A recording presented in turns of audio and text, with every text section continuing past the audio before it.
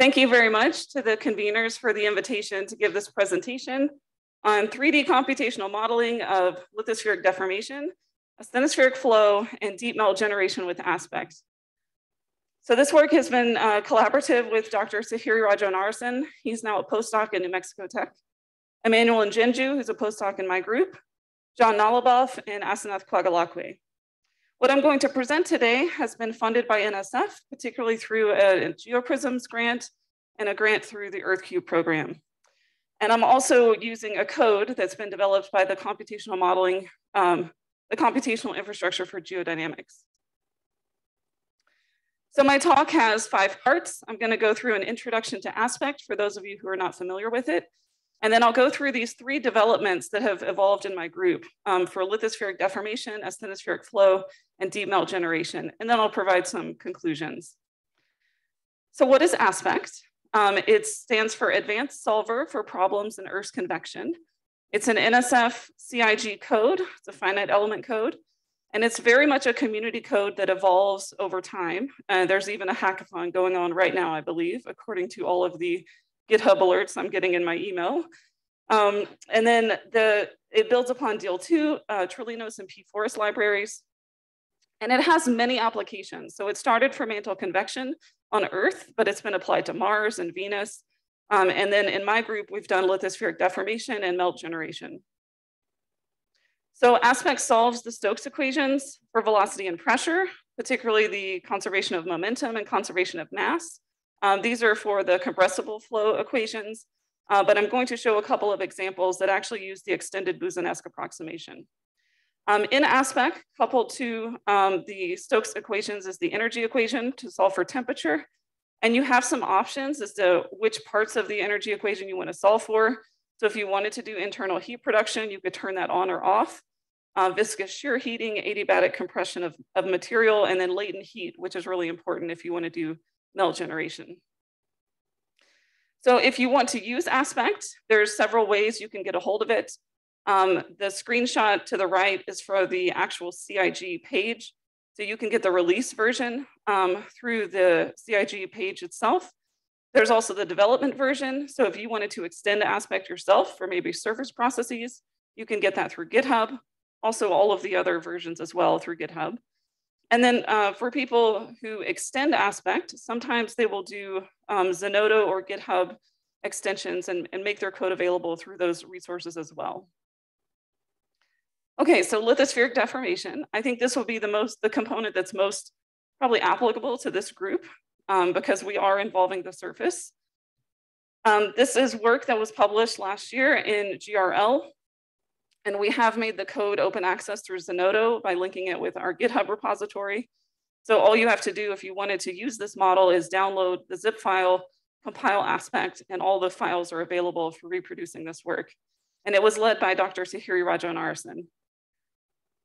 So if you wanted to use this model, um, you need to set up your lithospheric structure.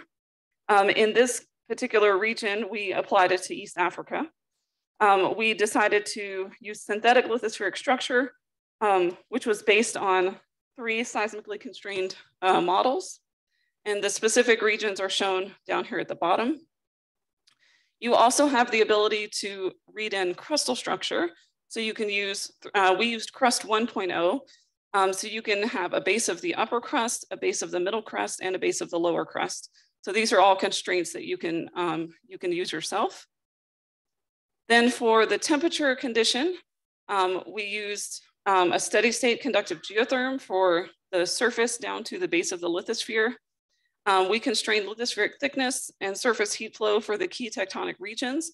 And shown here on the left is the cratonic domain. In the middle is mobile belts, and then um, the right is the rift domain. So these are showing temperature profiles, so temperature along the x-axis and depth along the y-axis. Um, so these are for the conductive geotherm for three different domains. Below the, temp below the lithosphere, we have the temperature increase adiabatically. So that's an option you can choose yourself. For the density structure, um, for this model, we assume isostatic compensation at 100 kilometers depth. Um, and so we do that by constraining the mantle lithospheric density to be laterally varying so that we so that the system is isostatically compensated. So in this figure to the left, Um, it's the mantle lithospheric vertically average density. If it's a red color, it's a lower density. If it's a blue color, it's a, it's a higher density. For the crust, we used input from crust 1.0 again. So we had uh, three different layers in the crust, density in the upper crust, middle crust, and lower crust. And in, in these figures to the right, um, if it's a red color, it's a lower density. If it's a blue color, it's a higher density.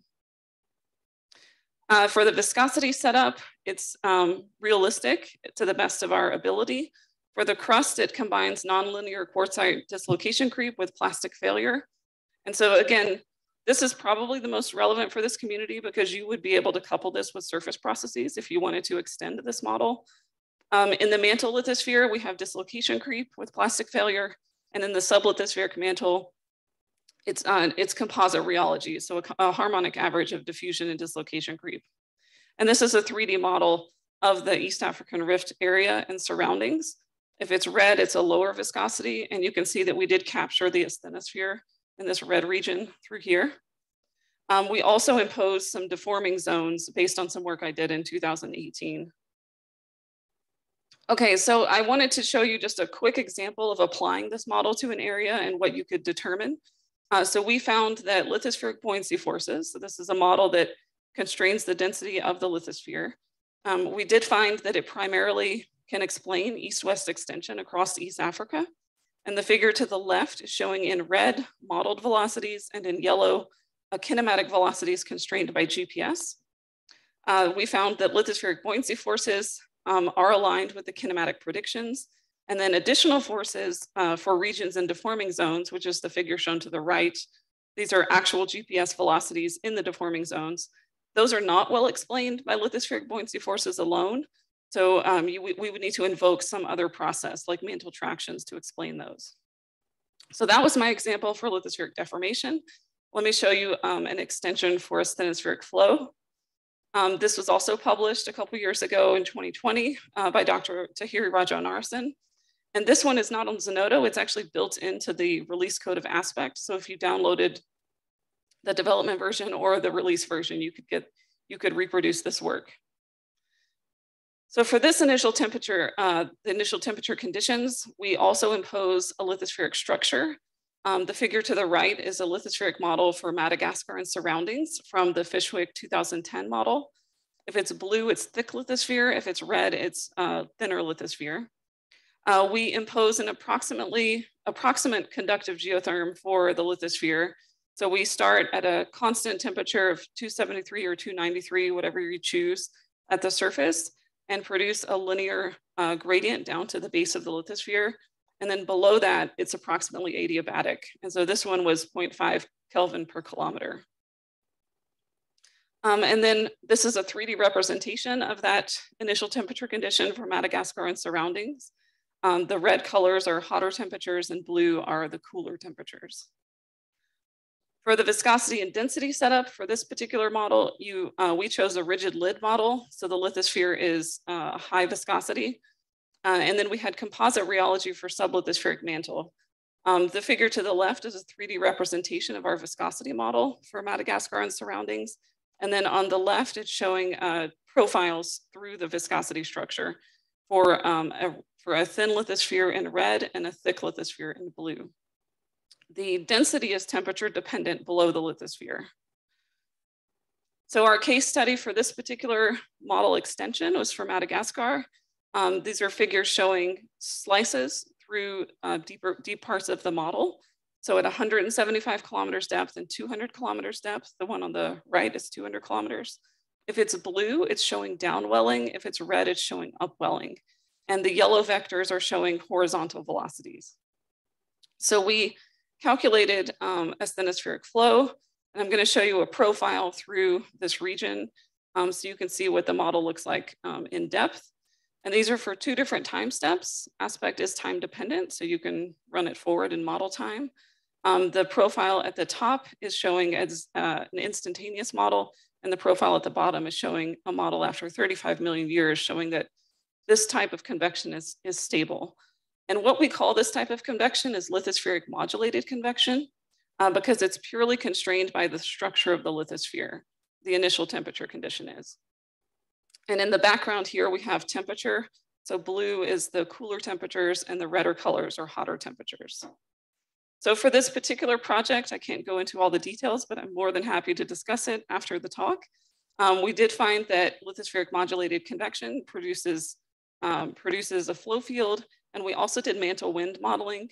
Um, so we imposed boundary conditions to test different flow fields. Um, and then we predicted shear wave splitting parameters and found that they had an asthenospheric source in Madagascar and they could be produced by lithospheric modulated convection. And then finally, by using the composite rheology, we found that dislocation creep extends into the upper asthenosphere beneath continental regions, uh, particularly in Madagascar. So this map here is showing the ratio of dislocation creep to diffusion creep. And so if it's red, it's dislocation creep. If it's blue, it's diffusion creep. Okay, so my last example is deep melt generation, which may or may not be as relevant for this community, but I hope that maybe you know you could extend this. It may be useful for you at some point. So this one's also published last year in JGR, and it's available through Zenodo open access. So the initial temperature setup is very similar to the one I just showed you. We use a lithospheric structure, and this one in particular, uh, we applied it to the Malawi Rift in East Africa. Um, we have an approximate conductive geotherm from the surface to the base of the lithosphere, and then adiabatic geotherm, an adiabatic increase in temperature below the lithosphere. This is a 3D representation of, um, of the Malawi Rift region uh, of our initial temperature condition. Blue is a cooler temperature and red is hotter temperature. For our viscosity, we also impose the rigid lid assumption, uh, but someone could easily couple this to our lithospheric deformation model and have it deforming as well. Um, and then below the lithosphere, we did the harmonic average of dislocation creep and diffusion creep for a composite rheology system. Um, and then this is a 3D representation of our viscosity structure. The blue is showing the rigid lid um, model. And then below that, we have laterally varying viscosity. So what's truly different about this model than the previous one I just showed you for a asthenospheric flow is how we calculate density and how we allow for melt generation. So the lithospheric density is fixed, but below the lithosphere, it is pressure and temperature dependent. And we can calculate density for melt and solid regions. And then on the right, we have the melt fraction equation. So we're able to determine and differentiate if the, if the temperature crosses the solidus or not, and if it crosses the liquidus or not. And so whether the part of the model actually meets the conditions for melting. So again, we applied this to the Malawi Rift. The figure to the left is showing um, in the white dashed lines, that's, that's the outline of the Malawi Rift. And then in the northern part is a place where we had melt generation, which is very close to the Rungwe volcanic province. And then the figures to the right are a profile through this region um, at different time steps. And then there's some insets that highlight um, where we found melt generation uh, very near the Rungwe volcanic province. Um, so some key conclusions from this particular paper are that lithospheric modulated convection does produce uh, melt beneath the Rungwe volcanic province. Um, it could entrain plume, plume material and this work suggests that a plume is necessary beneath the Rungwe volcanic province to produce these conditions for melt. So again, I can't go into the details, but I'm more than happy to discuss this work afterwards. So finally, to summarize, I've shown you three developments in aspect, um, some, some extensions to do lithospheric deformation, asthenospheric flow, and deep melt generation. I showed you a couple of examples about the East African Rift, where lithospheric buoyancy forces can be used to explain rigid plate motions. Um, we showed, I showed you a Madagascar example where dislocation creep extends into the upper asthenosphere, and then the Malawi Rift, where we found lithospheric control and melt generation uh, beneath the Rungwe volcanic province. So all of these are available open access through Zenodo or within the development code of Aspect, and I'm happy to take any questions at this point. Thank you.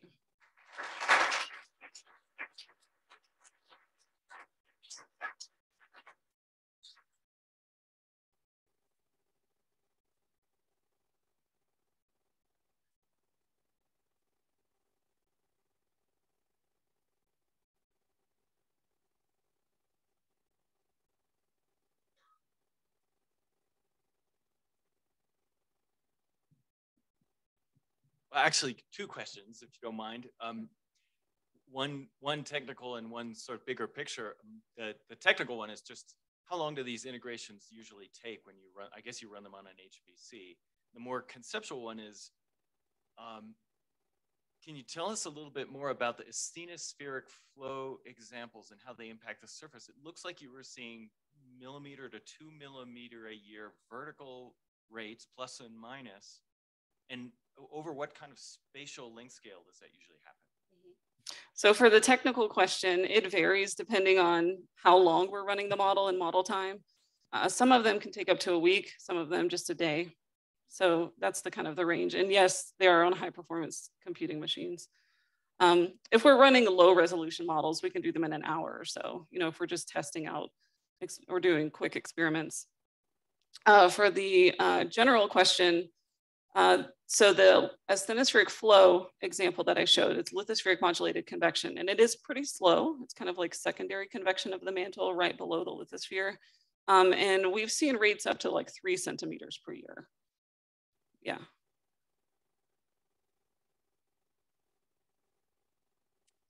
Brad, did you have a question too?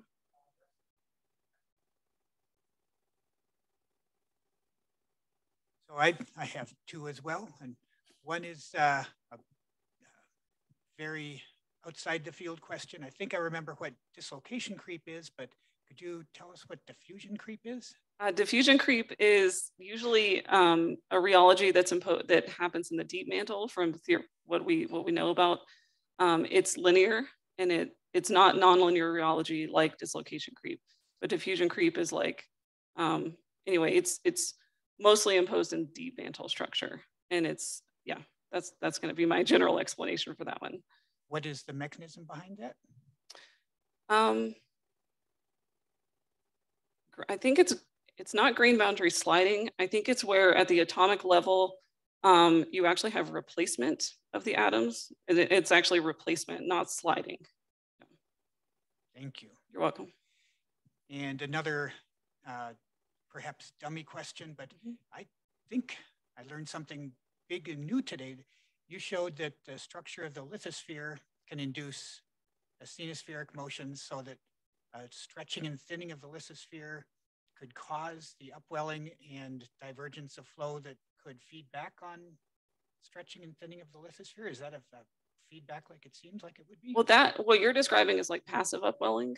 So yeah, if stretching and thinning of the lithosphere is happening, you can get uh, you can get upwelling just as a result of the thinning of the lithosphere and the asthenosphere uh, filling that space that occurs. But what we're doing is not actually thinning the lithosphere. We keep the lithosphere rigid. So it's it's truly just the temperature variations that it's so mm -hmm. it's mm-hmm. thermal convection just just due to the structure of the lithosphere. But would that then tend to cause thinning of the lithosphere and reinforcing the, the process? Yeah, if you allow the lithosphere to deform, Yes. Mm -hmm. Cool. Right.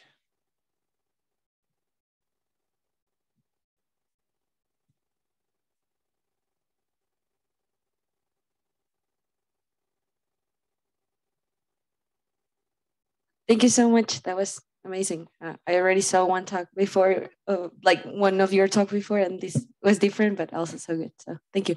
So my question is, um, can we apply this type of models to subduction zones and change like the angle of the subduction zone and see how that change topographic like along the lithosphere, like the crustal lithosphere and like change it with the ocean? Like, can we model that too in, in this? Absolutely, yeah. There's a lot of people that use aspect to model subduction. Yeah, absolutely.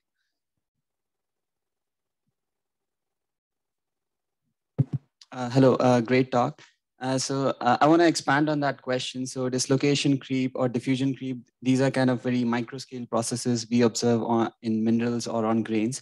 So what all assumptions go when you're extending these concepts to understand more macro scale uh, convection processes?